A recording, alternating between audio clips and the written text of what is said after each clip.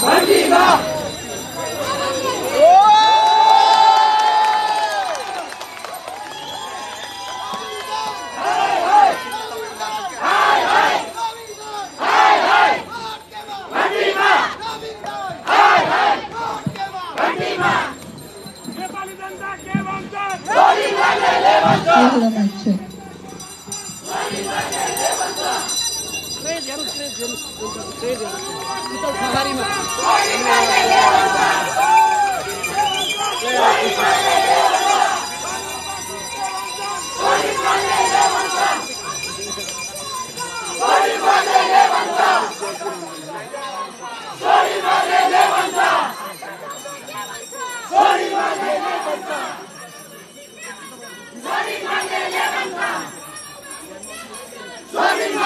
Macho.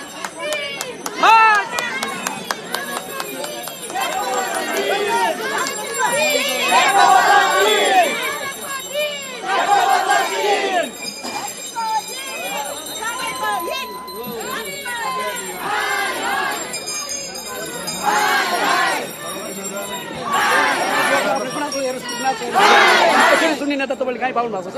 हेर्दै जानुहोस् हेर्दै जानुहोस्। ल हेर्नुहोस् ल हेर्नुहोस्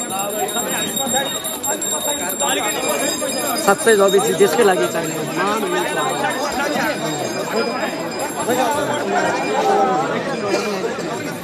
अलिकति बाबु।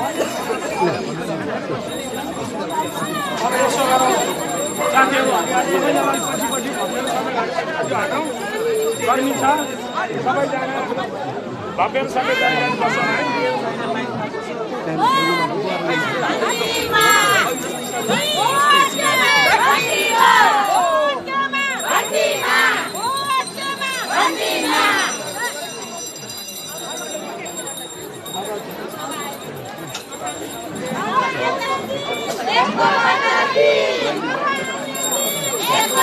सबैजना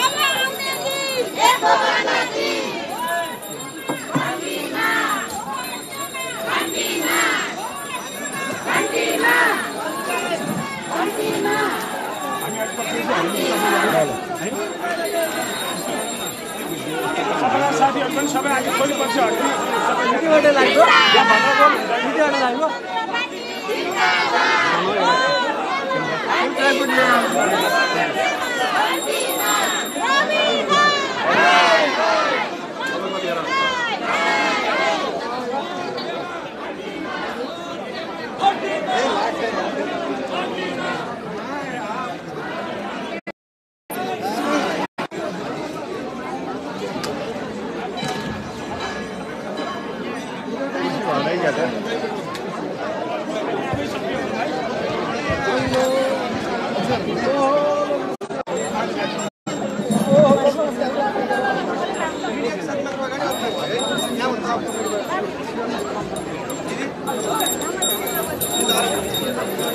एउटा चेन बना चेन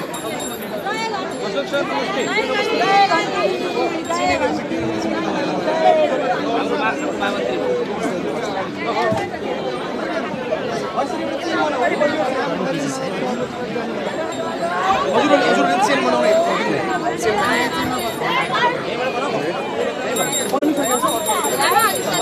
यहाँभन्दा अगाडि कसैले आउनु नदिने है पत्रकार साथीभाइहरू सबै पछाडि आउँदा। यहाँभन्दा अगाडि डिस्टर्ब न उल्मुल हुन्छ कि?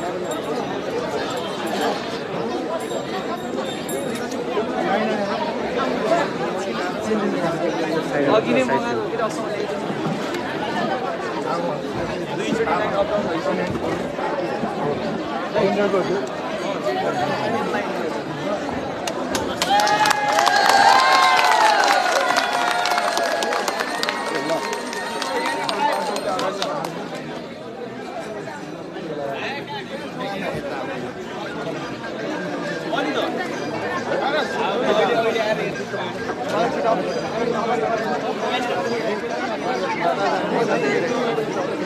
मिलेर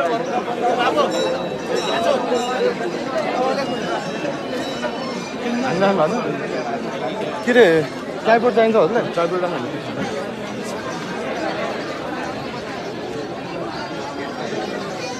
यो झन्डा यो झन्डा चाहिँ अलिक पछाडि गरौँ। त्यो झन्डाले चाहिँ पुरै छेक्दो रहेछ। है।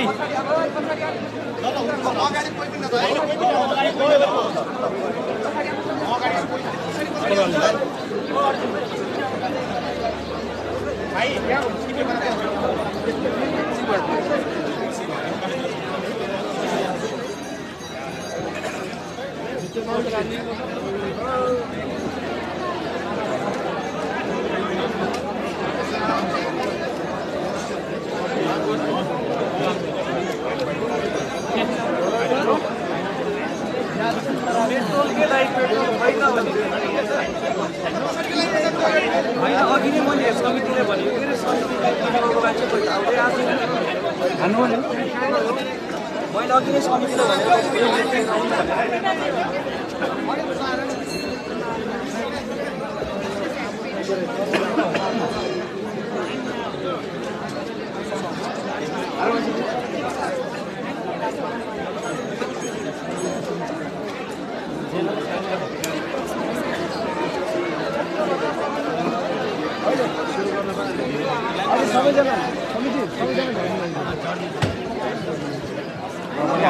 अफिसियल सर हजुरहरू पनि सबैजना तल आइदिनु प्लिज आइदिनु सबैजना गर्मी छ तपाईँलाई खिचिदिनु प्लिज आइदिनु त आइदिनु त उहाँले बुझाइदिनु न राम्रो उहाँले बुझाइदिनु अनि फेरि एकजना बस्दिनु त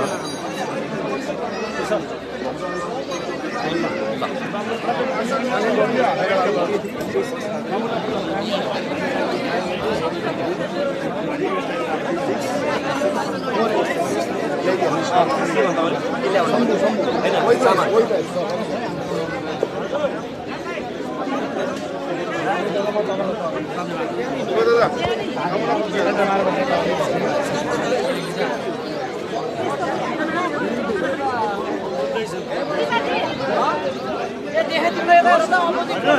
Ben bunu bir şey yapayım. Ama bunu hiç bilmiyorum.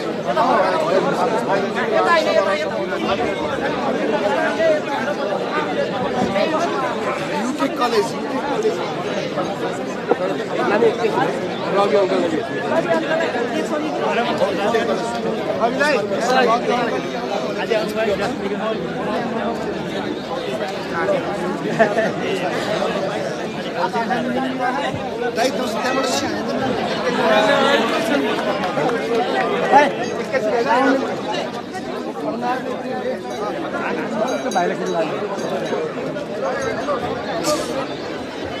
त्यसो भए युटेक कलेज लाइन आएको छैन लाइनको लागि छुट्टै चार्ज छ जेन्डरको छुट्टै चार्ज छ कि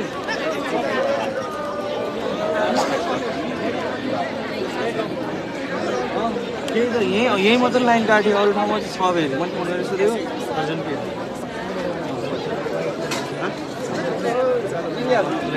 मैले सबै गर्दा आज एक घन्टा अगाडि समितिले भनिसके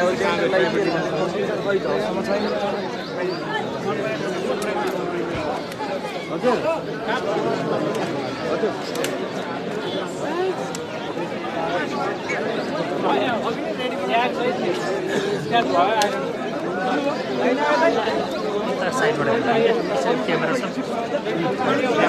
खै झलसम्म छैन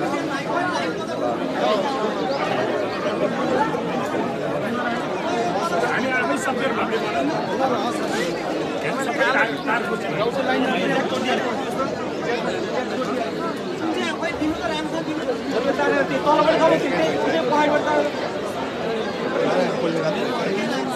के हो लाइन मिलेको थिएन र आउने जाने आउने जाने। ब्याकअप छैन ब्याकअप जेन्डर छ फेरि चाहिँ आएको छैन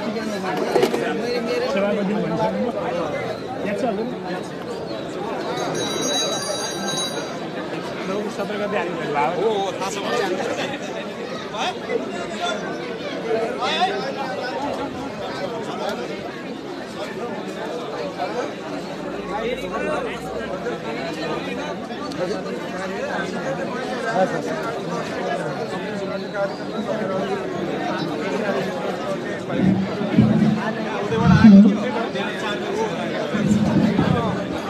गडबडी भएको कारणले गर्दा कार्यक्रम अलिकति ढिलाउन गएकोमा हामी क्षमा प्रार्थी छौँ। कति पनि ढिला नगरी कार्यक्रम सुरु गर्न चाहन्छौँ। हाम्रा केन्द्रीय सभापति रवि लामी छाने र डाक्टर सोरिङ वागले यति बेला हाम्रो कार्यक्रममा आइसक्नु भएको छ उहाँलाई पनि स्वागत गर्न चाहन्छौँ राष्ट्रिय स्वतन्त्र पार्टीका केन्द्रीय सदस्य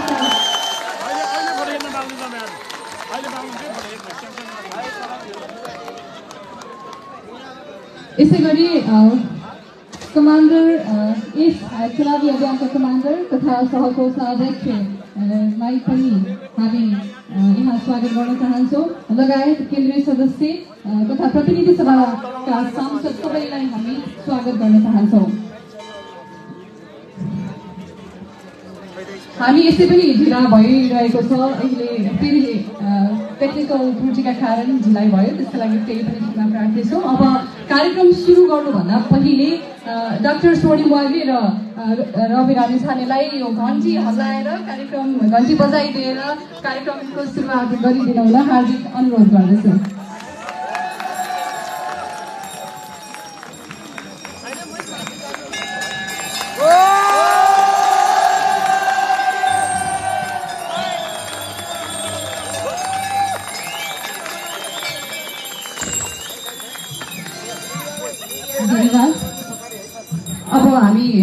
राष्ट्रिय गान बजाउँछौँ कृपया जो जो आफ्नो स्थानमा बसिरहनु भएको छ। उहाँहरू सबैजना उभिदिएर राष्ट्रिय गानको लागि कृपया सबैजना उठिदिनु होला। मन्दिर परिसरमा बसिरहेको देखिरहेको छु कृपया सबैजना उठेर राष्ट्रिय गानको लागि म अनुरोध गर्दछु।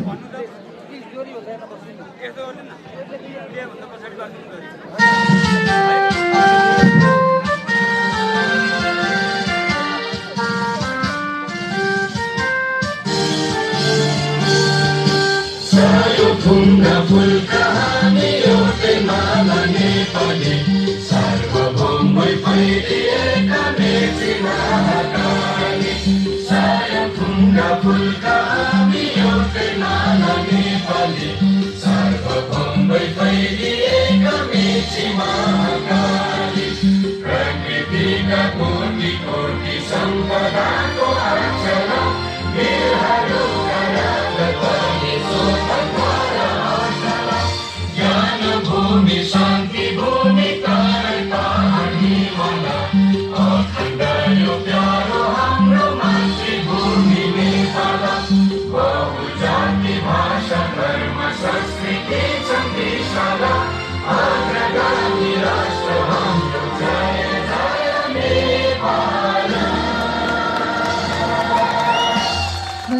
सबैजनालाई अब आफ्नो स्थानमा बसिदिनु हुन अनुरोध गर्दछु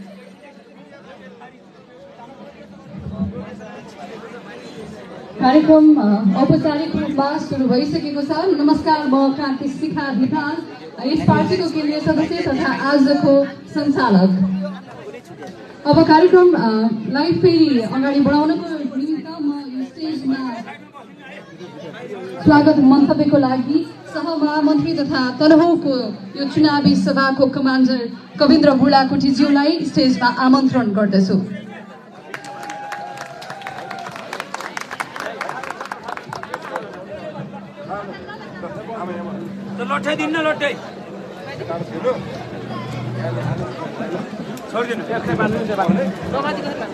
धन्यवाद।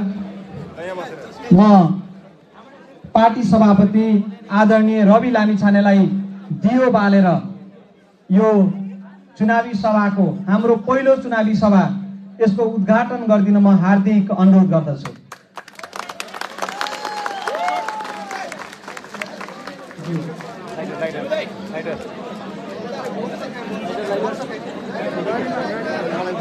Lighter lighter lighter lighter lighter lighter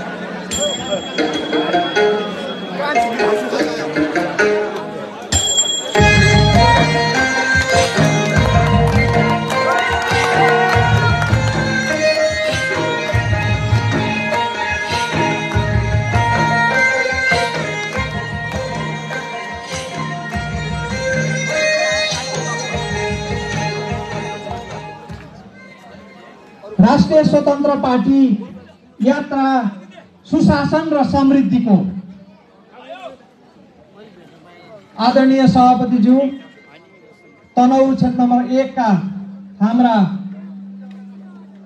गर्व गर्न लायक उम्मेदवार डाक्टर स्वर्णिम वाग्लेज्यू एकचोटि जोरदार ताली।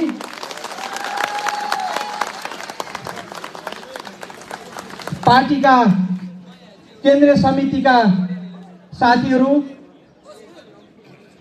प्रतिनिधि सभाका पार्टीका तर्फबाट प्रतिनिधित्व गर्ने सांसद ज्यूहरू पार्टीका प्रदेश समितिका साथीहरू जिल्ला पालिकाका साथीहरू साधारण सदस्यहरू सम्पूर्ण आमा बुवा दाजुभाइ दिदीबहिनीहरू पत्रकार मित्रहरू र सबैलाई म एकमुष्ट हार्दिक नमस्कार गर्न चाहन्छु।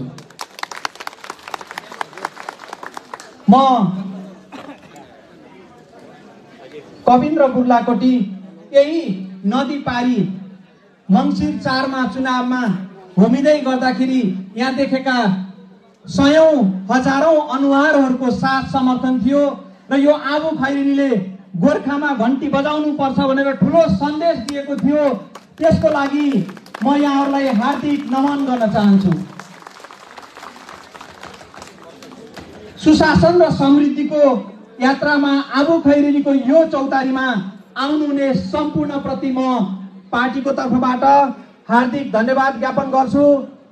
हामी ठ्याक्कै भित्र छिरिसके पछाडि बत्ती चट्ट काटिदिएर हामीलाई दुःख दिएकोमा त्यो नेपाल विद्युत प्राधिकरणलाई पनि एकचोटि धन्यवाद दिन चाहन्छु। हामी सभापति र यो दौरानमा असिन र पसिन हुँदै गर्दाखेरि केही प्राविधिक कामहरू अझै काम बाँकी रहेछन् र हामीले एउटा सूचना पाइसकेका थियौँ यसो हुन्छ भनेर। तथापि हामीले व्यवस्था गर्दा गर्दै अलिकति त्रुटि हुन गयो। म त्यसमा क्षमा चाहन्छु।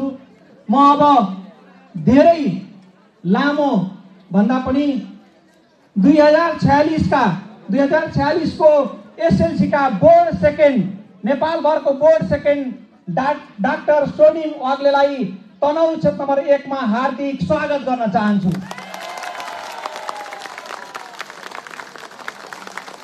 अस्ट्रेलियाको प्रसिद्ध विश्वविद्यालयबाट अर्थशास्त्रमा विद्यावादिती गर्नुभएका डाक्टर स्वर्णिम वाग्लेलाई हार्दिक स्वागत गर्न चाहन्छु। देशलाई अप्ठ्यारो परेको बेलामा महाभूकम्पको अवस्थामा करिब पाँच खरब रुपियाँ जोहो गरेर हाम्रा भत्किएका संरचनाहरू पुनर्निर्माणमा ठुलो योगदान पुर्याउने डाक्टर स्वर्णिम वाग्लेलाई हार्दिक स्वागत गर्न चाहन्छु। र अहिलेको बिग्रिएको राजनीति धमिलिएको राजनीति कति धमिलिएको छ? यहाँ बत्ती काट्नेसम्म पुगिसक्यो। कति धमिलिएको छ? यहाँहरूलाई कतिको फोन आएको छ? पक्लास भनेर।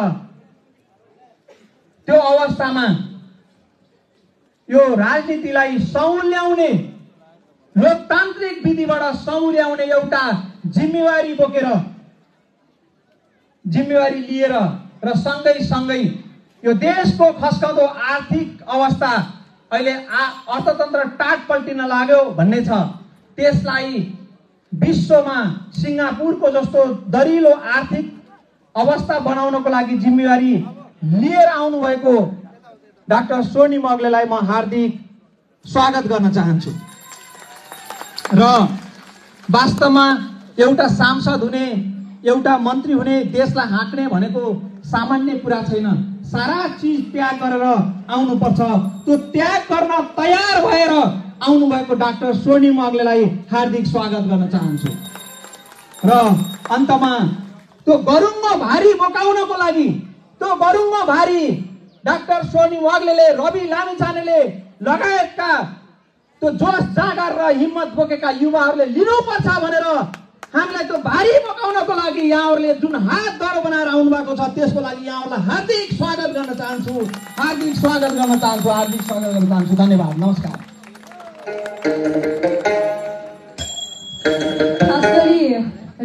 काम गरिरहँदाखेरि पनि गाली खाने प्रवृत्तिको सिर्जना यो समाजमा भइरहँदाखेरि नेपाल विद्युत प्राधिकरणले लाइन काटिदिँदा पनि हाम्रो पार्टीका सदस्यले धन्यवाद भनेर जानुभएको छ।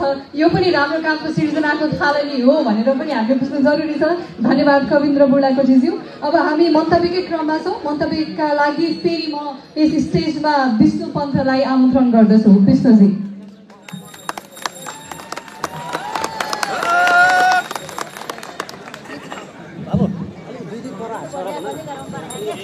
धन्यवाद कार्यक्रम सञ्चालिकाज्यूलाई आजको वैशाख दस लक्षित उपनिर्वाचनको सन्दर्भमा आबु खैरेनी गाउँपालिका राष्ट्रिय स्वतन्त्र पार्टी आबु खैरेनी गाउँ कार्य समितिद्वारा आयोजित यस सभाका सभानायक एवं राष्ट्रिय स्वतन्त्र पार्टीका केन्द्रीय सभापति रवि लामिछानेज्यू सँगै यस उपनिर्वाचनमा उम्मेद्वारका रूपमा दरो र खरो रूपमा खडा हुँदै गर्न खडा हुँदै गर्दा तपाईँ हाम्रो मन जितेर जाने अभिलाषाका साथ उपस्थित हुनुभएका अर्थविद डाक्टर स्वर्णिम वाग्लेज्यू र यहाँ उपस्थित तमाम आमा बुवा दाजुभाइ तथा दिदीबहिनीहरू सुरक्षाकर्मी मित्रहरू पत्रकार साथीहरू र सबै सबै उपस्थित महानुभावहरूमा म मेरो व्यक्तिगत तर्फबाट र राष्ट्रिय स्वतन्त्र पार्टीको तर्फबाट जय घन्टी सहितको नमस्- नमस्कार प्रकट गर्न चाहन्छु।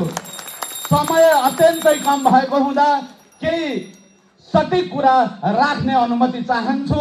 तपाईँहरूको अगाडि केन्द्रीय सभापति र यसै क्षेत्रका उम्मेदवारलाई साथी राखेर अघि भर्खर हामीले एघार बजेको आसपासमा पौने एघारको आसपासमा वडा नम्बर पाँच र छका घुमाउने पिउघर रतनपुर सेप्राङ दिखेत लगायतका मतदातालाई साक्षात्कार गरेर यहाँ उपस्थित भएका छौँ। सँगै अगाडि बढ्ने क्रममा वडा नम्बर पाँचको ब्रालुङ बेसी लगायत र यता इच्छा कामना गाउँपालिकाको वडा नम्बर छका कोइली घारीका जनताहरूसँग पनि साक्षात्कार गरेर अहिले हाम्रो सामान्य र्यालीका साथ यहाँ उपस्थित तमाम तमाम मतदाताहरूमा तमाम तमाम आमा बुवा दाजुभाइ तथा दिदीबहिनीहरूमा जय घन्टीको जय घन्टी सहितको सादर नमस्कार पुनः प्रकट गर्न चाहन्छु र मेरो व्यक्तिगत तर्फबाट भन्नु केही पनि छैन। मैले दशकौँ लामो काङ्ग्रेसी राजनीति यात्रालाई बिट मार्ने क्रममा अरू केही सोचिन मात्र केवल यो देशको उन्नति र भविष्य निर्माणको लागि खडा परेको अर्थतन्त्रलाई डाक्टरको रूपमा उपचार गर्न आउनुहुने डाक्टर स्वर्णिम वाग्लेको साथमा पार्टी परित्याग गरेको जानकारी गराउन चाहन्छु र मेरा अग्रज दशकौँ लामो तनहुको राजनीति यात्रामा सँगै यात्रा गरेका अग्रज दाजु विश्व वास्तोलाज्यूलाई पनि स्मरण गर्न चाहन्छु र यत्रो माहौल सिर्जना गर्नको लागि आफ्नो अथक र अनवरत प्रयास लगाउनु हुने राष्ट्रिय स्वतन्त्र पार्टी आबुका राम श्रेष्ठज्यू जो सभापति हुनुहुन्छ उपसभापति अनिल श्रेष्ठ र सचिव प्रकाश भाइलाई पनि सम्झन चाहन्छु र यस माहौल सिर्जना गर्नको लागि वडा नम्बर एकदेखि छसम्म आफ्नो तह र तब्काबाट विवेकका साथ आफ्नो मन र मुटु दिएर यहाँ उपस्थित तमाम सबैमा वैशाख दसमा सम्पन्न हुन गइरहेको उपनिर्वाचनमा विश्वले चिनेको नेपालले खोजेको र थला परेको बिरामी परेको अर्थतन्त्रलाई उपचार गराउनको लागि हामी यस तनहु क्षेत्र नम्बर एकवासी सफल हुन जरुरी छ भन्ने कुरा पनि म यहाँहरू सबैसँग विनम्र अनुरोध गर्न चाहन्छु र अब अन्त्यमा म के भन्न चाहन्छु भने जसरी हामीले नेपाली कङ्ग्रेस एमाले माओवादीको राजनीति गर्दा गर्दै जस्ता मिठा अनुभव गऱ्यौँ यत्रो माहौल सिर्जना गर्नको लागि हामीले दसौँ लाख खर्च गर्दा पनि सम्भव हुन्थेन। त्यसको मतलब हो ती दलसँग अब नौजवान युवा युवतीहरूको भरोसा छैन। ती दलहरूमा सबै मक्किएका सोच र सडेका आफ्ना योजनाहरू छन्। यसर्थ हामी हरेक राजनीतिक दललाई गाली त गर्दैनौँ तर तिनका अग्रज नेताहरू जसले नेपाली काङ्ग्रेस स्थापना गर्यो बिपी सुवर्ण गणेशमान किशुनजी नेताहरूप्रति जस्ता त्यागी नेताहरूप्रति हामी हृदयदेखि नै नमन गर्न चाहन्छौँ जीवनभर उहाँहरूको प्रशंसा गर्न चाहन्छौँ। सँगै पुष्पलाल श्रेष्ठ जस्ता व्यक्तित्वले स्थापना गरेको कम्युनिस्ट पार्टीप्रति पनि हामी सद्भाव व्यक्त गर्न चाहन्छौँ। तर हिजोका ती विरासतहरूलाई जनताका माझ लगेर ठग्ने काम अब ती दलबाट बन्द गरिनुपर्छ र त्यसको विकल्पमा रवि लामिछानेज्यू जो यो देशको भरोसा हुनुहुन्छ उहाँको नेतृत्वमा गठन भएको पार्टीले अब नयाँ वैकल्पिक शक्तिका साथ देशलाई रूपान्तरण गर्नको लागि सक्षम हुनुहुनेछ भन्ने विश्वास व्यक्त गर्दै यही वैशाख दस गते हरेक मतदान स्थलमा सशक्त उपस्थिति जनाएर तपाईँ हाम्रा माझ आउनुभएका सुयोग्य उम्मेद्वार डाक्टर सोडिम वाग्लेको पक्षमा घन्टी चिन्हमा स्वास्थ्य छाप लगाएर अत्याधिक मतका साथ जिताउनु हुनेछ भन्ने अपार विश्वासका साथ मेरो दुई शब्द यही अन्त्य गर्न चाहन्छु। हस्त धन्यवाद। जय घन्टी जय देश। धन्यवाद विष्णु पन्तजी। अब फेरि मन्तव्यकै क्रममा म रूपक बिके घिमिरेलाई स्टेजमा आमन्त्रण गर्दछु। म घर घर हेर्छु।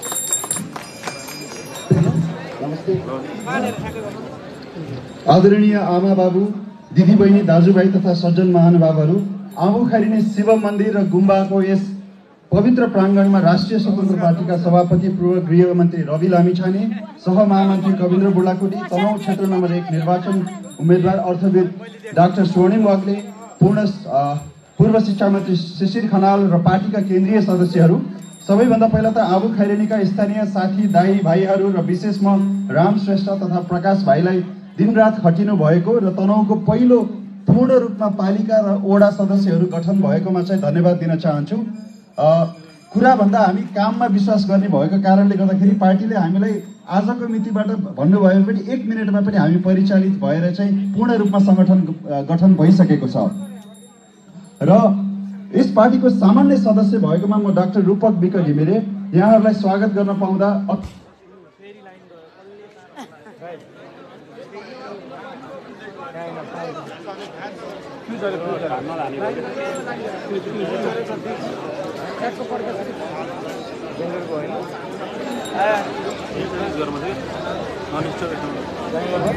नमस्ते। म यस पार्टीको सामान्य सदस्य डाक्टर रूपक विक घिमिरे हजुरहरूलाई स्वागत गर्न पाउँदा गौरवान्वित भएको छु। म यही माटोमा हुर्किएर बाल्यकाल र स्कुले जीवन यही बिताएर उच्च शिक्षा तथा कामको सिलसिलामा काठमाडौँ गए पनि मलाई चाहिँ धेरै साथीहरूले चाहिँ अब मसँगै प्र्याक्टिस गर्ने अथवा मेडिकल काउन्सिलमा हुने डक्टर तुलसीमा कार्कीहरू जब चाहिँ सांसद हुनुभयो रूपक तिमी पनि हुने होइन भन्दाखेरि चाहिँ मलाई चाहिँ के लाग्थ्यो भन्दा उहाँहरूले त बिउ रोप्नु भएको हो। म पछि राजनीति गर्नलाई आफ्नै ठाउँमा जानुपर्छ भन्ने चाहिँ मलाई बोध भयो र रवि लामिछाने सरलाई भेट्न गएँ। र त्यसपछि पनि आफ्नो ठाउँप्रतिको लगाव माया र स्नेहहरूले यहाँहरूको माझमा आउन पाउँदा कहिलेकाहीँ आमाको काखमा आए जस्तो पनि मलाई लागिरहेको छ। आमाको काखमा पुलकित भएर कहिलेकाहीँ गदगद भएर केही शब्द तलमाथि भएमा पनि उहाँबाट माफी दिनुहुन्छ भन्ने म आशा राखेको छु। हुन त चुनावले दिएको टिकटको प्रतिस्पर्धी थिएँ तर मभन्दा पनि अझ अझ आशा र भरोसाका प्रतीक अन्तर्राष्ट्रिय रूपमा नै प्रख्यात अर्थविद हुँदा यहाँको अन्तर्राष्ट्रिय रूपमा प्रख्यात अर्थविद हुँदाहुँदै पनि डाक्टर स्वर्णिम वाग्लेलाई मैले यहाँको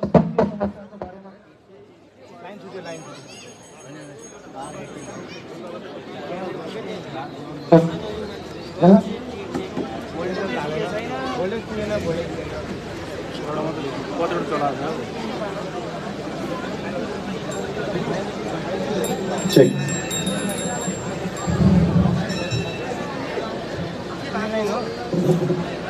साउन्ड सिस्टमको खराबीको लागि म खेद प्रकट गर्न चाहन्छु। स्वर्णिमजीलाई राष्ट्रिय अन्तर्राष्ट्रिय रूपमा उहाँ प्रख्यात हुँदाहुँदै पनि यहाँको चाहिँ स्थानीय समस्याको बारेमा पनि म केही अवगत गराउन चाहन्छु र यसलाई चाहिँ बाछा पत्र जसरी पनि लिइदिनु होला। हुन त आबु खैरिनीलाई सुगम भनिन्छ नारायणघाट एक घन्टा पोखरा दुई घन्टा र काठमाडौँ तिन घन्टा भए पनि यहाँ राम्रो अस्पताल अथवा यहीँ माथि छिम्केश्वरीमा राम्रो बाटो पनि पुग्न पाएको छैन अहिलेसम्म। यहीँ तल्लो बजार मनोकामना जस जाने प्रवेशद्वार भएको बेलामा यहाँ झिलिमिली हुन्थ्यो भिडभाड हुन्थ्यो र पछि केवल कारपछि लगभग सुनसान छ। र यहाँको युवाहरूमा बेरोजगारी लागु पदार्थ दुस दुर्व्यसनी लगायतको समस्या छ। यो ठाउँ गण्डकी अञ्चलदेखि पश्चिमको लागु पदार्थ ओसार पसारको ट्रान्जिट पोइन्ट जस्तो पनि भएको हामी सबैले महसुस गरेकोमा रवि सरलाई फेरि पनि जितसहित गृहमन्त्री हुनुभएमा त्यसमा पनि ध्यान पुर्याउनलाई चाहिँ म अनुरोध गर्न चाहन्छु। अर्को कुरा युवाहरूलाई सकारात्मक रूपमा ध्यान दिन रोजगारी व्यवसाय स्टार्टअप फन्ड्सहरू सिपयुक्त तालिम लगायत खेलकुदमा समेत ध्यान पुगोस् भनेर खेल मैदानको आवश्यकताको महसुस गराउन चाहन्छु। यही कुडुलेमा फुटबल ग्राउन्ड बनाउने भनेको वर्षौँ भइसक्यो तर हाम्रोमा अब खैरेनीमा अहिलेसम्म फुटबल खेल्ने एउटा राम्रो ग्राउन्ड पनि छैन होइन? माथि गाउँमा घरहरू छरिएका छन् त्यही कारणले गर्दाखेरि एकीकृत बस्तीको आव अवधारणा स्वास्थ्य चौकीलाई टेलिमेडिसिन लगायतले जोड्न सकिन्छ। याम्पा फाँटको तरकारी देशभरि पुर्याउन सकिन्छ। उस्तै उस्तै हावापानी उचाइ भएकोले मनोकामना जस्तै सुन्तला खेती गर्न सकिन्छ। चिया बगान कफी खेती लगायत पकेट क्षेत्र घोषणा गरेर स्थानीय उपा उत्पादनको बजारीकरण गर्न सकिन्छ। मनबाट भनेको खैरिनी जस्तो मनबाट मैले के भन्दैछु भने यहाँ हुर्के यहाँको जस्तो मिठो पानी सुन्तला घिउ तरकारी लोकल कुखुरा नेपालभरि पाइँदैन यो मैले म यहाँको मात्र भएर भनेको होइन। मेरो श्रीमतीलाई सोध्यो भने पनि थाहा हुन्छ। सो यो कुराहरूलाई चाहिँ हामीले चाहिँ राम्रोसँग बजारीकरण गर्न सकियो भने पक्कै पनि आबु खेरिङका यस्ता उत्पादनहरूलाई चाहिँ देश अथवा विदेशमा चाहिँ चिनाउन सकिन्छ जस्तो लाग्छ। अर्को कुरा चाहिँ राष्ट्रिय स्वतन्त्र पार्टी तपाईँको पार्टी सरकारमा के गएर त किन गयो भनेर धेरैले प्रश्न गर्ने गर्नुहुन्छ। काम के गरे त भन्दा पुग नपुग एक एक महिना हुँदा पनि सेना प्रहरीको सुसारै बन्द भयो। सरुवा बढाइ लगायतमा सोर्स फोर्स लगाउन बन्द भयो। यसको साक्षी हाम्रो रवि सर यही नै हुन्छ क्रसर गिल गिटी बालुवा लगायतको चाहिँ नियमन लगायतको कामहरू प्रशस्त रूपमा भइराखेकै थियो। सोर्स फोर्स लगाउन भन्दा चाहिँ सिस्टम बनाउनमा केन्द्रित भएको हामी सबैलाई सर्वविदितै छ। त्यही विधिको शासन मान्ने भनेर हाम्रो सभापतिज्यू चाहिँ बहालवाला गृहमन्त्री हुँदाहुँदै त्यसको कुनै पनि प्रभाव नपारिकन एउटा सिस्टमलाई मानेर चाहिँ अदालतको निर्णयलाई मानेर आज फेरि चाहिँ चुनावी मैदानमा आउनुभएको छ जुन हाम्रो नजिकैको जिल्ला छ। र चितवन र आबु खैरेनी सँगै भएको कारणले गर्दाखेरि दुई दाजुभाइको सङ्गमले पक्कै पनि यो क्षेत्रलाई चाहिँ एकदमै विकसित हुनेछ भन्ने चाहिँ मैले आशा लिएको छु। हिजोसम्म चाहिँ यो पार्टी रवि लामिछानेको पार्टी भनेर चिनिन्थ्यो भने आज यो जनताको पार्टी भइसकेको छ। है? र यति चाहिँ म हन्ड्रेड पर्सेन्ट ग्यारेन्टी म दसवटा मुलाको छाप लगाएर चाहिँ के दिन्छु भन्दा तेस्रो पार्टी चाहिँ हन्ड्रेड पर्सेन्ट हुन्छ।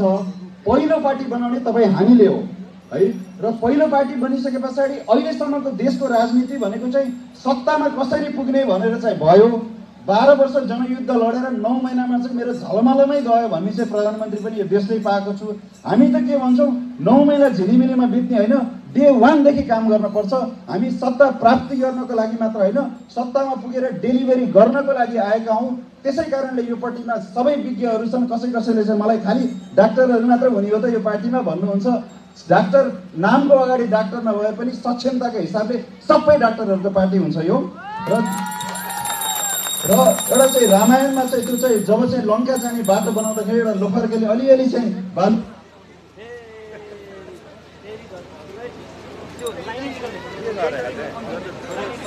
लाइन के भयो भाइ लाइन निकाल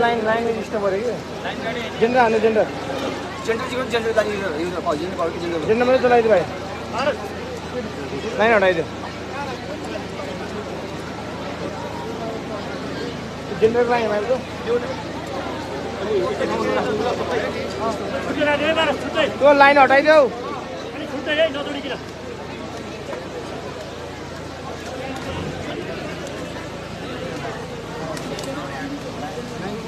कि जेन्डर हान्नु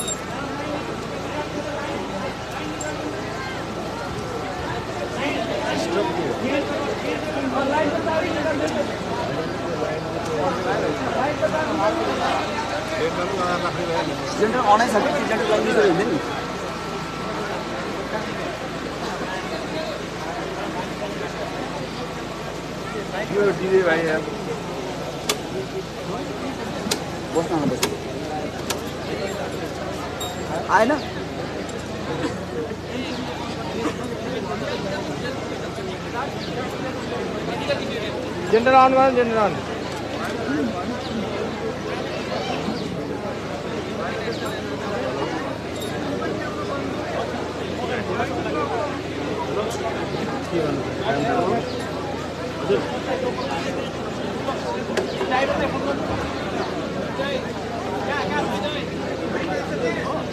I, I, I,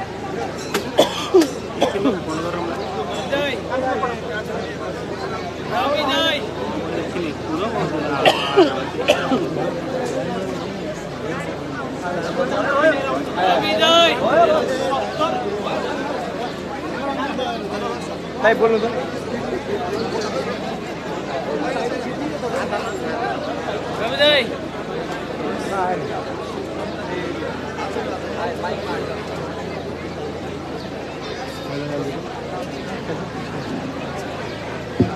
check check नमस्ते र अन्त्यमा सबै जनसमुदायहरूलाई चाहिँ एउटा कुरा चाहिँ के ढुक्कुनुहोस् यो पार्टी ठप्पो हुन्छ डेलिभरी गर्छ र तपाईँहरूले पनि कुनै दिन चाहिँ म यो देश यो घन्टीमा चाहिँ भोट हाल्न पाएर चाहिँ यो देश चाहिँ समृद्ध बन्न पाएकोमा चाहिँ आफूलाई गौरवान्वित महसुस गर्न पक्कै पनि पाउने हुनुहुन्छ।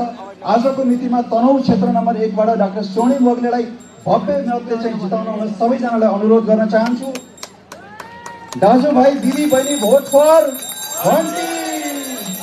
धन्यवाद सबैजनालाई। थ्याङ्क यू धन्यवाद रूपक बेकी घिमिरेजी टेक्निकल गडबडी भइरहेको कारणले गर्दा फेरि पनि हामी काट्छौँ। जिल्ला नगरिकन नमस्ते लाल भूमिज्यूलाई यहाँ आमन्त्रण गर्दछु आफ्नो मन्तव्यको लागि।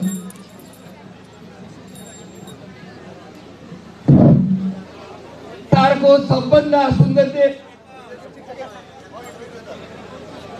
नेपालको मध्य भागमा रहेको क्षेत्र नम्बर एक। र प्रवेशद्वारको रूपमा रहेको आबु खैरेनी यहाँ उपस्थित हाम्रो सभापति र उम्मेदवार र मान्य लगायत सम्पूर्ण केन्द्र सम्पूर्ण उपस्थित प्यारा प्यारा दाजुभाइ पुरे नमस्ते। यहाँको साथमा यहाँको साथमा यी शब्द मात्र म रासोपा र म किन? दोस्रो सोलुङ र हामी किन? त्यसकारण यी दुई कुरालाई म आफ्नो सानो रूपमा यहाँहरूको अगाडि राख्न अनुमति माग्दैछु।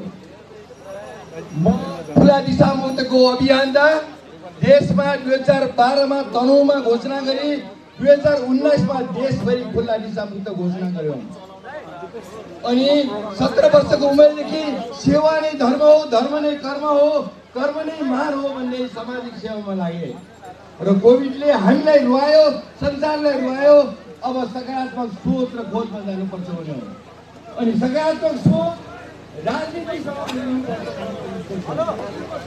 आधारमा मैले संसारको धेरै देशहरू घुम्न गएको छ महिना अघि मात्र मेसिडोनिया गएको थिएँ मेसिडोनियामा र त्यहाँको छवटा देश घुम्दाखेरि अल्बेनिया मन्टेनेग्रो घुम्दाखेरि मलाई अचम्म लाग्यो मेसिडोनिया देश त्यहाँको नेताले आफ्नै देशलाई ग्रिससँग बेच्न भाउ राखिरहेको छोइथे मलाई बडो दुःख लाग्यो अचम्म लाग्यो यस्तो पनि देश हुँदो रहेछ अनि अहिले त्यहाँको जनताहरू धमाधम अमेरिका गइरहेको रहेछ त्यस्तै हाम्रो देश पनि यस्तै हुन लाग्यो भनेर ममा दर्द भयो।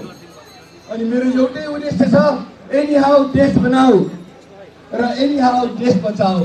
त्यसैले राष्ट्रिय स्वतन्त्र पार्टीले यसको मुख्य लक्ष्य लिएको हुनाले हामी यसमा लाग्नुपर्छ गर्नै पर्छ केही भनेर यो भित्र साथ दिन आइरहेको छु। अब यही कुरा गर्दा मलाई यस्तो लाग्छ के हो त्यो सबभन्दा राम्रो हो त्यो सबभन्दा राम्रो घन्टी नै हो साझा हाम्रो घन्टी नै हो साझा हाम्रो। यो अहिलेको हाम्रो नारा हुनुपर्छ अब सोनेमजी हामीसँग भन्दाखेरि उहाँको ज्ञान हामी सबैलाई थाहा भइसक्यो देश र विदेशमा। उहाँको सिप विचारले उहाँले देखाइसक्नुभयो। उहाँको अनुभव हामीले चालिस वर्षसम्म उहाँको अनुभवले देशमा मार्गदर्शन गरेको देख्यौँ र अहिले राष्ट्रिय स्वतन्त्र पार्टीमा हामीले देख्छौँ। योभन्दा गौरव के चाहियो? योभन्दा महत्त्वपूर्ण के चाहियो? योभन्दा खुसी के चाहियो? त्यसैले हामीले उहाँलाई साथ दिनै पर्छ र मैले सर हेरेँ। एमालेको हाम्रो उम्मेद्वार हेरियो काङ्ग्रेसको पनि हेरियो र साथसाथै राष्ट्रिय प्रजातन्त्र पार्टीको पनि हेरियो। तर यसरी सर हेर्दाखेरि हामीले के पायौँ भने एउटै साह्रै महत्त्वपूर्ण कुरा पायौँ त्यो हो? सोनिमजी द बेस्ट सोनिमजी सबभन्दा राम्रो। त्यसैले सोनिमजी हाम्रो। त्यसैले सोनिमजीलाई जसरी नै जिताउनु पर्छ भन्ने सोच्यौँ। र यही सिलसिलामा म तपाईँहरूसँग हित बेस्ट भन्ने कुरामा उहाँको सबभन्दा राम्रो भन्ने कुरामा हामी सबै लागौँ र राष्ट्रिय स्वतन्त्र पार्टीको घन्टीलाई जिताउँ भन्न चाहन्छु। त्यसैले म तपाईँहरूलाई फेरि पनि यो एउटा मर्सेनीको पानी नारायणीमा पुगिरहेछ। हाम्रो आदरणीय रवि सर नारायणीमा हुनुहुन्छ। हाम्रो स्वर्णिमजी यहीँ हुनुहुन्छ। अब यो दुईजना मात्र होइन यो जसरी पानी भएको छ त्यसरी पनि हाम्रो आवाज बुलन्द रूपमा आउनुपर्छ। त्यसैले म नारा लाउँछु तपाईँहरूले साथ दिनुहोला। भोट केमा घन्टीमा भन्नुहोला भोट केमा भोट केमा हस् यति भन्दै नयाँ वर्ष दुई हजार असीको उपलक्ष्यमा हामी सबैको सुस्वास्थ्य सफलता र सुख समृद्धि होस् भन्ने कामना साथ म बिदा हुन चाहन्छु। धन्यवाद। नमस्ते। नमस्ते। अब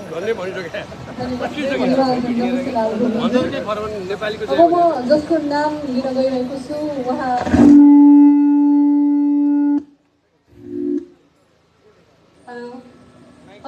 जुन व्यक्तित्वको नाम लिन गइरहेको छु उहाँ यस्तो व्यक्तित्व हुनुहुन्छ जसले अहिले नेपालमा हरेक दिन युवाहरू विदेशिने क्रम बढिरहेको बेला उहाँले यसरी प्रेरणा दिइरहनु भएको छ कि नेपालमा पनि केही गर्न सकिन्छ भन्ने प्रेरणा दिएर बिजनेस गरेर एउटा युवा उद्यमीको उदाहरण बन्न सफल हुनुभएको छ। हाम्रै अ, सञ्जोग कोइरालाज्यूलाई म स्टेजमा आफ्नो मन्तव्य दिनको लागि हार्दिक अनुरोध गर्दछु।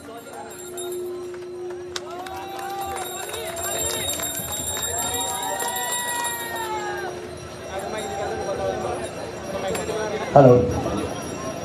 नमस्ते सबैजनालाई। यो मेरो जीवनको फर्स्ट यस्तो पब्लिक ग्यादरिङमा बोल्ने चाहिँ मौका पाइरहेको छु। सोचेको थिएँ आज यो मौका पाएँ भने खत्रै केही चाहिँ भाषण गर्छु भनेर। तर यो स्टेज चढ्दै गर्दाखेरि मनमा एउटा आनन्द पनि आयो र साथसाथै के आयो भने जे पनि भन्छु आत्माबाट भन्छु। र त्यो आत्माबाट भनेको कुरा हरेक यहाँ भएको सबैजनाको आत्माले छुन्छ जस्तो लाग्छ। सो म एउटा युवा उद्यमी सञ्जोग कोइराला हुँ। म विगतको दस वर्षदेखि बाहिर पढेर नेपालमै केही गर्छु भनेर नेपालमै केही नयाँ नयाँ चिज गर्छु भनेर विभिन्न क्षेत्रहरूमा आबद्ध हुँदै आजसम्म यहाँ आएको छु। र म जस्तै धेरै नेपालीहरूको चाहिँ सपना छ। धेरैजनाहरू जो विदेशिनु भएको छ या जो विदेशमा गएर चाहिँ केही गर्छु भनेर सोचिराख्नु भएको छ तर नेपालमै बसेर गर्न पाए कस्तो राम्रो हुन्थ्यो? नेपालमै केही गर्न पाए कति राम्रो र आनन्द हुन्थ्यो भनेर चाहिँ धेरैजनालाई पनि लागिरहेको होला। त्यो आशा त्यो नेपालमै बसेर केही गरौँ भन्ने खालको त्यो आशा चाहिँ धेरैजनाको अनुहार र आँखामा चाहिँ मैले देखिरहेको छु। सो सोचेँ यदि नेपालमै बसेर केही गर्न मिल्ने माहौल बन्छ भने हामी विदेश किन जाने? र हामी जहिले पनि कुरामा भन्छौँ नेपालमा यो भएन त्यो भएन हामी कम्प्लेन मात्र गर्छौँ। कम्प्लेन मात्र यसको सोल्युसन होइन। तपाईँ पनि यो सिस्टमको केही न केही कन्ट्रिब्युट गर्ने एउटा मेम्बर बन्नुपर्छ। र त्यो कसरी गर्ने त भन्दाखेरि तपाईँको भोट म्याटर्स तपाईँले यसरी नै देशको हरेक चिजमा आफ्नो कन्ट्रिब्युसन गर्न सक्नुहुन्छ। अब हामी धेरैजना चाहिँ जहिले पनि विदेशमा भयो भने पनि नेपालमा भयो भने पनि दसैँमा त टिका लाउँछौँ र म सँगसँगै तपाईँले कि त यो आशीर्वाद पाउनु भएको छ कि त यो आशीर्वाद दिनुभएको छ होला र त्यो आशीर्वाद हो पढे लेखेर ठुलो मान्छे बन्नु देशको लागि र परिवारको लागि केही राम्रो काम गर्नु भनेर आशीर्वाद कि त दिनुभएको छ कि त लिनुभएको छ यो आशीर्वादको लागि केही गर्ने यो चाहिँ सही मौका। र यो आशीर्वादको आशा बनेर हाम्रो डक्टर स्वर्णिम वागले राष्ट्रिय स्वतन्त्र पार्टीबाट तपाईँहरूको माझ खडा हुनुभएको छ भनेपछि यो आशीर्वाद दिने कि नदिने? सो अब नयाँ वर्ष पनि आउँदैछ। स्वर्णिम वाग्लेलाई तनहुबाट जिताएर नेपाली आमालाई न्यु इयर गिफ्ट दिन्छ कि दिँदैन त तनहुले? दिन्छ भन्ने यो मेरो पनि ठुलो आशा छ। परिवर्तन तपाईँबाटै सुरु हुन्छ हामीबाटै सुरु हुन्छ र हाम्रो भोटबाट सुरु हुन्छ। यति भन्दै म बिदा माग्छु। धन्यवाद। धन्यवाद सञ्जय अब आफ्नो छोराछोरीहरूलाई टिका लगाउँदा के आशीर्वाद दिने भनेर तपाईँहरूले पनि थाहा पाइसक्नुभयो होला।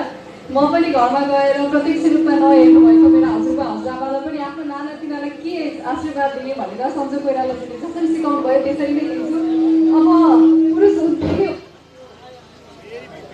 फेरि लाइन काट्यो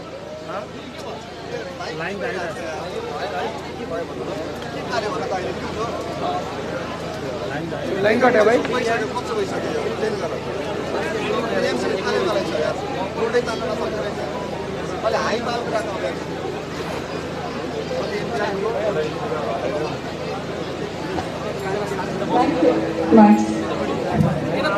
अब मन्तव्य दिने क्रममै राष्ट्रिय स्वतन्त्र पार्टीको सहकोषा व्यक्ति तथा महिला उद्यमी जसले सयौँ महिलाहरूलाई एउटा व्या- व्यापार व्यवसायमा पनि सफल बनाउनको लागि अग्रसर हुनुहुन्छ। त्यस्तो उद्यमी महिलालाई बोलाउँदैछु राष्ट्रिय स्वतन्त्र पार्टीको सहकोषा अध्यक्ष हुनुहुन्छ उहाँ। बसमाया तामाङज्यू कृपया स्टेजमा आएर आफ्नो मन्तव्य दिनुहोला।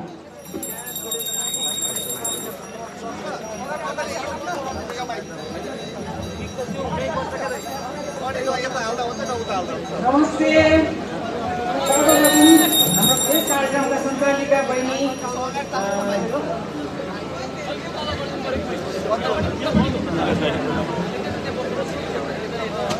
यस कार्यक्रमका सञ्चालिका बहिनी हाम्रो केन्द्रीय सदस्य क्रान्ति बहिनीलाई धेरै धेरै धन्यवाद। नेपाल नेपाल राष्ट्रका सच्चा सपुत छोरा र नेपालीहरूका सम्पूर्ण नेपालीहरूका मुटुमा बस्न सफल हिरो र राष्ट्रिय स्वतन्त्र पार्टीका सभापति रवि लामिछानेज्यू तथा तनहुँ जिल्लाबाट उम्मेद्वार बन्नुभएका सोनिमज्यूलाई म बसुमाको तर्फबाट नमस्कार। त्यस्तै यहाँ उपस्थित हाम्रा केन्द्रीय पदाधिकारीज्यूहरू र माननीयज्यूहरू र सम्पूर्ण उपस्थित बुवा आमा दाजुभाइ तथा दिदीबहिनीहरू सबैमा मेरो नमस्कार। जय घन्टी हुन त म कुनै राजनीतिक क्षेत्रबाट म प्रवेश गरेको त होइन। सर्वप्रथम मेरो परिचय मैले चिनाउन पर्दा तपाईँहरूमा म मेरो जन्म घर चाहिँ धादिङ धादिङ जिल्लाको दुर्गम क्षेत्र उत्तरी भेगको रुबी भ्यालीमा मेरो जन्म भएको थियो र मेरो पढाइ शिक्षा दीक्षा मेरो काठमाडौँमा भयो। त्यसै सिलसिलामा धेरै सङ्घर्षका दिनहरू मैले काटेको छु र काटेर आज यो अवस्थामा छु र यो स्टेजमा छु। त्यसको लागि त्यसको बावजुद म आज आफ्नै सङ्घर्षमा आफ्नै बलबुतमा आज यो स्थानमा म आइपुगेको छु र राष्ट्रिय स्वतन्त्र पार्टीसँग आबद्ध भएको छु। र शिक्षा दीक्षाका सँगसँगै मैले सङ्घर्ष गर्दा गर्दै आज एक देशको एउटा सफल महिला उद्यमीको मैले दर्जा खाएको छु र म एक उद्यमी हुँ र सयौँ दिदीबहिनीहरूलाई मैले रोजगार दिएर राखेको छु र यो र दुःख पाएका दिदीबहिनीहरूलाई मैले बढी प्राथमिकता दिएको छु। यो मेरो सानो परिचय हो र आज राष्ट्रिय स्वतन्त्र पार्टीमा केन्द्रीय सदस्य तथा नि- भूमिका निर्वाह गरेर म अगाडि बढिरहेको छु। आजको देशको स्थितिमा मैले भन्नुपर्दा स्वयं हाम्रो पार्टीले भोगेको कुरा मैले आज अलिकति पोख्न चाहेँ। त्यो के भने हाम्रो पार्टीमा हाम्रो सभापतिज्यूको कुनै गलत केही नहुँदाखेरि पनि हामीले गृहमन्त्रीको पद हामीले त्याग्नु पर्यो। हामी सङ्घर्ष हामी स्वीकारेर हामीले हाँसी हाँसी त्यागेका छौँ। तर त्यही पद आज सत्रजना मान्छे मार्ने पाँच हजारजना मुखैले बोलेर मार्दाखेरि पनि त्यत्रो त्यत्रो कानुन लाग्दाखेरि पनि सर्वोच्च अदालतले आज सिधा पनि आज कुनै केही कानुन बन्न सकिरहेको छैन। खुल्लम खुल्ला मन्त्रीको गाडी चढेर प्रधानमन्त्रीको पद खाएर इज्जत दान देखाएर हिँडिरहेको अवस्था छ। यसमा हामीलाई कति दुःख लाग्छ होइन? हामीले त कुनै पनि गति नगर्दा पनि हामी हाँस त्यस्तो हुनु पर्यो जनताले तर उनीहरूलाई अहिलेको राजनीतिक दलहरूको के छ? कुर्सी मुहानै छ कुर्सीको लागि जे पनि दिन तयार छ उनीहरू जनताको लागि कुनै जनतालाई केही गर्छु भनेर अगाडि बढेको होइन। यो कुरा चाहिँ अबको दाजुभाइ तथा आजको अबको युवा पिँढीले र विशेष गरी महिलाहरूले पनि एकदम जरुरी बुझ्न जरुरी छ। यस्तो पार्टीमा लाग्नु हुँदैन। हिजो लागेको थियो भने अब त्यस्तो झोलाहरू फालिदिनुपर्छ अब हामी नयाँ नयाँ जोस जागरका साथ युवा अगाडि बढ्नुपर्छ महिला अगाडि बढ्नुपर्छ र देश बनाउनलाई अब महिलाको खाँचो छ। त्यसमा महिला दिदीबहिनीहरू कोही पनि चुप लागेर बस्ने होइन। देश बनाउने भनेको महिलाले हो। जसरी घर महिलाले बनाउँछ त्यसरी नै देश बनाउन महिलाको खाँचो छ। सम्पूर्ण दिदीबहिनीहरू अगाडि बढ्नु होला म भन्न चाहन्छु। त्यसै गरी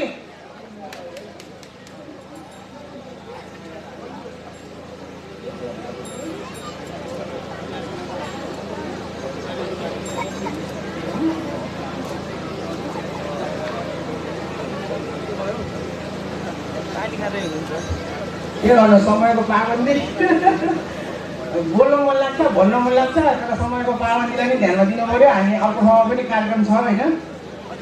अब यस कुरामा मैले के भन्न चाहेँ भने जस्तो अब आउने दिनहरूमा राष्ट्रिय स्वतन्त्र पार्टीले देश बनाउने छ र देश बनाउन कुनैसँग सरकार गर्न नपरोस् कुनै बाहरूसँग हामी झुक्न नपरोस् कुनै बाको शरण लिन नपरोस्। स्वयं हामी स्वतन्त्र भएर हामी आफ्नै सरकार बनाउन सकुन्। त्यसका लागि सयौँजना रविहरू जन्मिसकेका छन्। त्यस्तै अब हाम्रा सयौँजना स्वर्णिमहरू पनि जन्मिनको जन्मिन जरुरी छ। तनहुँ क्षेत्रबाट पनि जन्मिने छ भन्ने आशा गरेको छु। त्यसै गरी वैदेशिक भूमिकामा पनि मैले अलिकति एउटा सानो एउटा मैले त्रुटिहरू देखेको कारण मैले यो चाहिँ मैले भन्न चाहेँ। भोलिको हाम्रो सरकार गएको अवस्थामा त्यसलाई हामीले अम, निगरानी गर्नुपर्छ भन्ने मलाई लागेको छ। जस्तो एउटा हामी विदेशमा जान्छौँ तर मैले यो कुरा मैले मेरो म एउटा म धालिङबाट म प्रदेश उम्मेदवार पनि बनेको थिएँ। त्यस वखत पनि मैले भनेको थिएँ। हामी नेपालीलाई हिलाको प्रविधि एयरपोर्टको ढोकाइबाट हामीलाई सुरु हुन्छ। त्यो हट्नुपर्छ। त्यहाँ श्रम श्रममा जाने नेपालीको कस्तो कस्तो दुर्दशा गरिन्छ र भिआइपी लोनमा जानेको कस्तो गरिन्छ यो यो चाहिँ हटाइदिनुपर्छ। नेपाली सबै एउटै हुन् एउटै नेपाल आमाका छोराछोरी हुन् सबैलाई बराबर हुनुपर्छ भन्ने मैले राखेको थिएँ। तर यसै म आज तिन दिन भए म विदेश यात्रा गरेर आउँदाखेरि मैले केही केही मात्रामा चाहिँ परिवर्तन भएको मैले देखेँ त्यहाँ हटाइएको छ श्रममा जाने भिआइपीमा जाने बिजनेसमा जाने यस्तो यस्तो क्लासहरूको चाहिँ हटाइयो पाइयो। र यो हटाइएसँगै अब जस्तो हाम्रो रोयल नेपाल एयरलाइन्स छ। त्यसै गरी हिमालयन एयरलाइन्सहरू छ। यो एयरलाइन्सहरूमा पनि जति पनि हाम्रो अहिले सक्षम यत्रजना यत्र नेपाली आमाका छोराछोरीहरू छन् त्यहाँ प्रत्येकको जसको दक्ष छ। त्यसलाई चाहिँ त्यही ठाउँमा राख्नु पर्यो। जबकि हाम्रो एयरलाइन्समा चाहिँ बङ्गालीहरू बङ्गलादेशको बङ्गालीहरूलाई राखेको छ श्रीलङ्केनहरूलाई राखेको छ र त्यहाँ कतिपय सबैले इङ्ग्लिस बुझ्छ भन्ने छैन। इङ्ग्लिस नबुझेको बावजुद पनि कतिजनालाई मैले फर्काएर डिपोर्ट गरेको मैले देखेँ त्यसो गर्दाखेरि त्यहाँ टिकट एयरलाइन्सको टिकटको पैसा पनि फिर्ता पाउँदैन। उनीहरूले दुखाइ गरेर ऋण गरेर गएको छोराहरूले त्यसरी फर्किन पर्दाखेरि त्यो दिनहरू देखेर मलाई दुःख लाग्यो। यस्तो कुरामा सरकारको ध्यान गराउन चाहन्छु म। कुनै पनि र साथै ऋण गरेर विदेश गएको मान्छे अ, बासामा फर्किनुपर्छ भनेर कसैले पनि सोचेको हुँदैन तर आ दिनदशाले बिग्रेर बासामा फर्किन पर्दाखेरि त्यस बासामा फर्किनलाई पनि सरकारबाट कुनै कदम भएको देखिँदैन नेपाल नेपाली आमाका छोराछोरीहरू नै आफै सहयोगी मनका धनीहरूले पैसा उठाएर बासालाई प्याकिङ गरेर पठाउनु पर्ने अवस्था छ यस्तो अवस्थालाई पनि सरकारले ध्यान दियोस् र हाम्रो सक्षम नेपाली दाजुभाइ दिदीबहिनीहरूलाई सही ठाउँमा सदुपयोग गरोस् र अन्तमा म भन्न चाहन्छु हाम्रो देशमा विदेशमा गएर तातो घाममा पक्रेर तपाईँहरू दुःख गर्नुको सट्टा हाम्रै देशमा केही गर्नुहोस् हाम्रै माटोमा केही गर्नुहोस्। यहीँ फल्छ धन यहीँ फल्छ पैसा सबै र यहीँ हाम त्यसो गऱ्यो भने उद्यमी बन्यो भने सबैजना उद्यमी बन्यो भने देशको विकास चाँडै नै हुनेछ। आर्थ आर्थिक कुरामा देश माथि जानेछ भन्दै राष्ट्रिय स्वतन्त्र पार्टीका हाम्रा तनहुँ जिल्लाबाट स्वर्णिम माङ्लेज्यूलाई अत्याधिक मत दिई विजय गराइदिनु हुन विनम्र अनुरोध गर्दै जय भन्न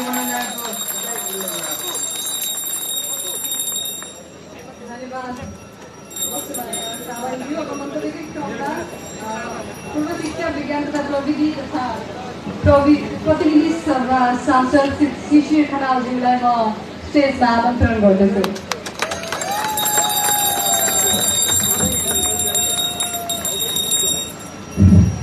नमस्ते अब यही भूमिमा जन्मेको तनहुको छोराबाट आफूको यो चौतारी मुनि जन्म जन्म आउनुभएका सबैलाई एकै मुष्ट नमस्ते गर्न चाहे। समय धेरै छ। धेरै भूमिका नबाजिकन मलाई यो उपनिर्वाचन आउँदै गर्दाखेरि तनहुकै मान्छे हो भनेर धेरैले छोरा बाबु भतिज दाई तनहुमा तपाईँ जस्तै एउटा राम्रो उम्मेदवार पठाइदिनु है भन्दै भन्नुहुन्थ्यो। अनि म भन्थेँ म जस्तो भएर तनहुलाई पुग्दैन। मभन्दा धेरै राम्रो उम्मेदवार तनहुले पाउनुपर्छ भन्ने मलाई लाग्थ्यो। आज मलाई गर्व छ राष्ट्रिय स्वतन्त्र पार्टीले स्वर्णिम वाग्ले जस्तो गर्व गर्ने लायक उम्मेदवार तनाउले पठाएको छ। मलाई किन मैले त्यो भन्दैछु भने म यो सा यो सानैदेखि डुम्रेबाट छुदीसम्म हिँडेर जाँदै गर्दाखेरि होस् कि यी बाटाहरूमा उकाली ओह्रालीहरू गर्दै गर्दाखेरि सधैँ मलाई प्रश्न के उठ्यो भने नेता त तनाउमा कम कहिल्यै भएनन्। हामी देशैभरि सबभन्दा धेरै नेता भएको देश सबभन्दा पावरफुल नेता भएको जिल्ला भनेर तनहुलाई चिनाउँछौँ। तर आज कोही एउटा आमा आफूमा सुत्केरी भइन् कम्प्लिकेसन भयो भने एउटा अस्पताल छैन हामी कहाँ राम्रो। कि पोखरा पुर्याउनु पर्छ कि चितवन पुर्याउनु पर्छ कि काठमाडौँ दौडाउनु पर्छ। नेता कम भएर यो देश यो ठाउँले यस्तो भएको हो त ठुला नेता नपाएर तनाउको यो दुर्गति हो कि जेलले नपाएका नेताहरू तनाउले संसदमा पठाएको मन्त्री बनाएको हो। तर पनि आज हामीलाई के भनिँदैछ भने तिमीहरू जस्तो विदेशमा गएर पढेकाहरू लाइनमा बस। नेता हुने तिमीहरूसँग उमेर पुगेको छैन हैसियत पुगेको छैन अनुभव पुगेको छैन। तिमीहरू विदेशमा पढ्दै गर्दाखेरि हामी त यहाँ ढुङ्गा हान्दै थियौँ। तिमीहरूको त क्वालिफिकेसनै पुगेको छैन भनिरहेछ आज हामीलाई। के? हामी साँच्चै त्यति निकममा हो त? हाम्रा नेताहरू सक्षम हुँदा हुँदाखेरि किन मेरो गाउँको बाटोमा अझै